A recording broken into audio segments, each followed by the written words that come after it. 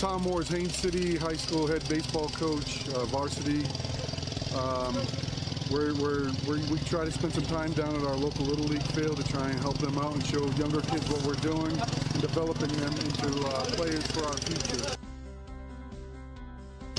I've been a coach, this is my third year as a head varsity coach. Prior to that, I was a JV coach for Haines City, so I've been there seven years.